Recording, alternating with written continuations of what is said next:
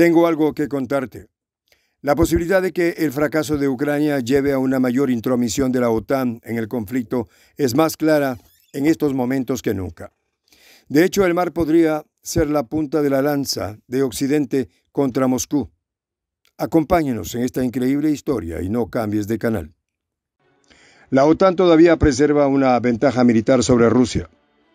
El mar.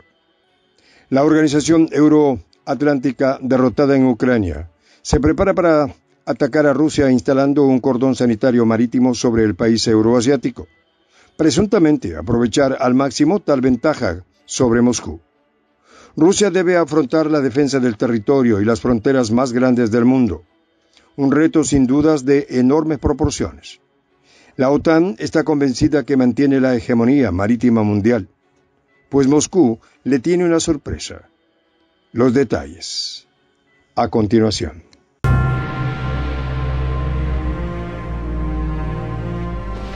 Voz de la Patria Grande.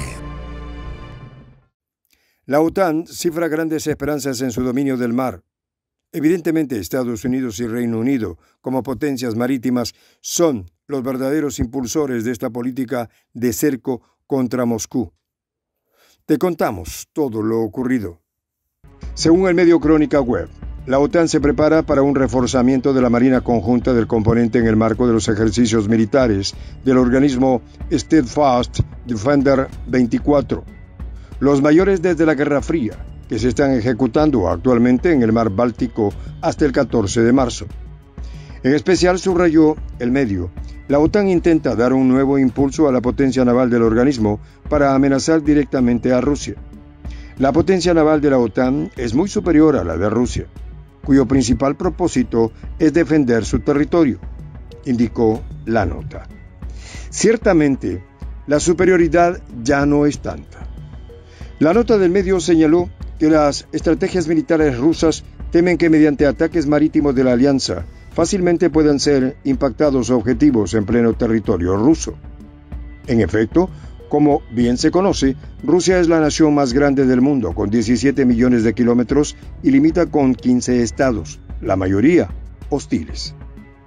Efectivamente, según reportó el medio citado, la gran demanda de atención de Moscú en la defensa de sus enormes fronteras representa una ventaja comparativa para la OTAN que refuerza su marina de guerra conjunta mientras Moscú debe distraer recursos necesarios en Ucrania.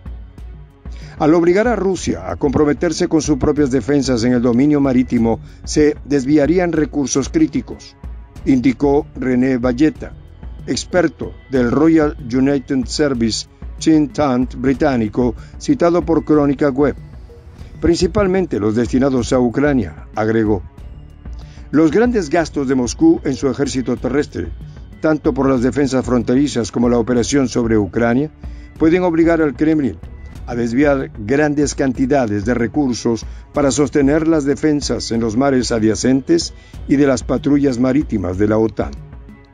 Según el medio español El Independiente, los ejercicios Steadfast Defender 24 simulan un escenario hipotético donde Rusia ha hecho una operación militar sobre Polonia. En ese caso, la Marina de la OTAN jugaría un papel fundamental en la respuesta a Moscú entendida en Bruselas como una ventaja sustancial sobre el ejército de Rusia. Teóricamente, existen ventajas del organismo euroatlántico, casi insalvables para Rusia, que en una confrontación directa con Occidente dejaría a la nación de El Oso en claras desventajas contra sus adversarios. No obstante, Vladimir Putin puede tener más de una sorpresa preparada. Rusia se ha preparado conscientemente para todos los escenarios posibles. En efecto, amén de que su flota marítima no iguala a la de sus adversarios occidentales, ha tomado las medidas pertinentes ante cada situación. Ya lo vas a conocer. La alianza puede expandir su área sobre la cual Rusia debe defender su territorio en el mar, añadió René Valeta, Agregó que la OTAN está expandiendo su capacidad de ataque terrestre y operando en nuevos escenarios donde Rusia no se ha tenido que defender históricamente, en especial en las zonas fronterizas de Escandinavia. Estos ejercicios demostrarán la capacidad de la OTAN para desplegar rápidamente fuerzas desde Estados Unidos y otras partes de la alianza, indicó un informe del ente euroatlántico. El liderazgo lo mantiene el general del ejército de Estados Unidos, Christopher Caboli, con un comando conformado por oficiales de varios países de la OTAN. El despliegue militar de la OTAN es notoriamente desproporcionado según el portal Escenario Mundial. La expansión a las naciones fronterizas con Rusia es importante. Agentes e instructores, más los servicios de inteligencia, tienen presencia en los estados bálticos y Polonia. El ejército de Rusia duplicará su presencia militar a lo largo y ancho de la frontera con Finlandia, según medios rusos nuevo integrante de la OTAN, lo que significa ver frente a frente a los comandantes del ente euroatlántico. Todo esto es un fino muro de contención orquestado por Washington contra Moscú.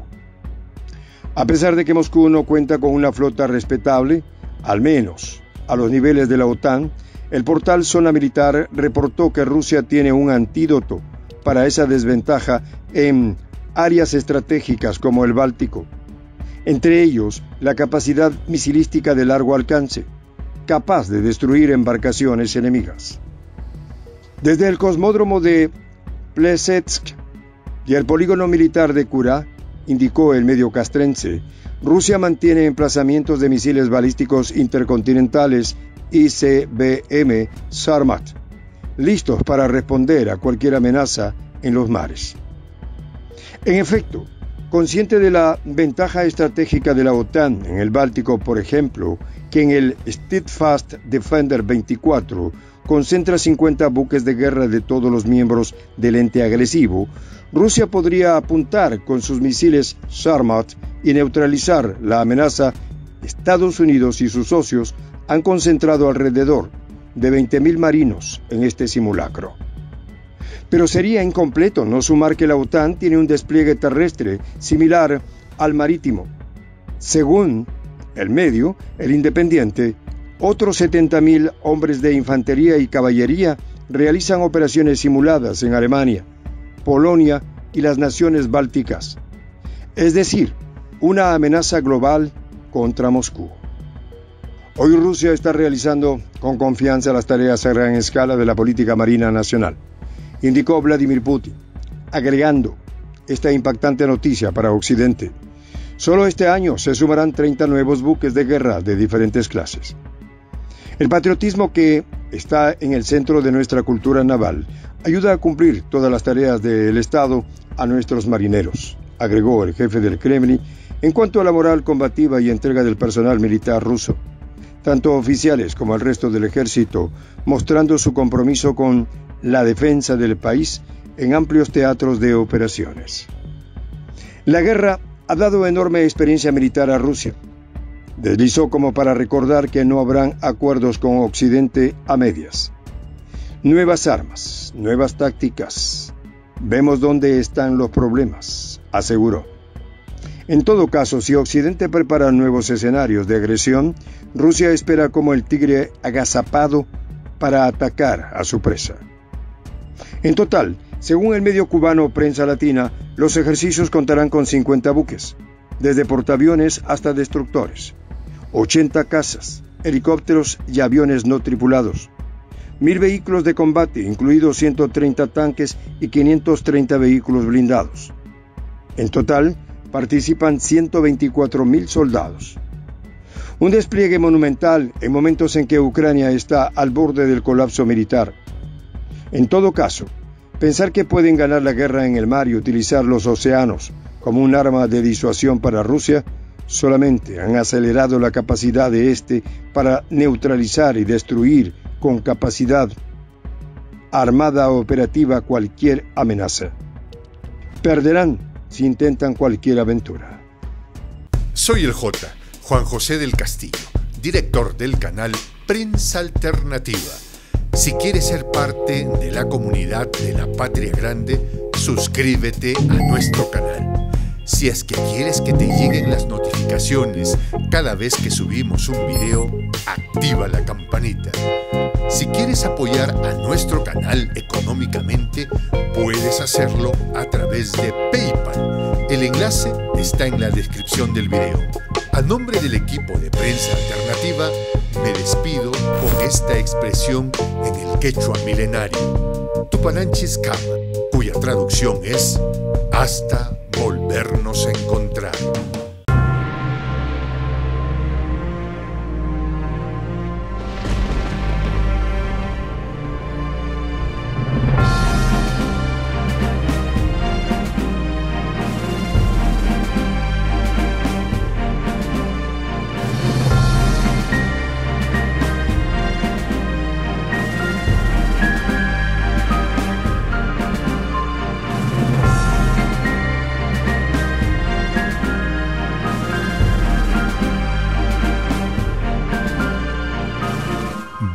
De la patria grande.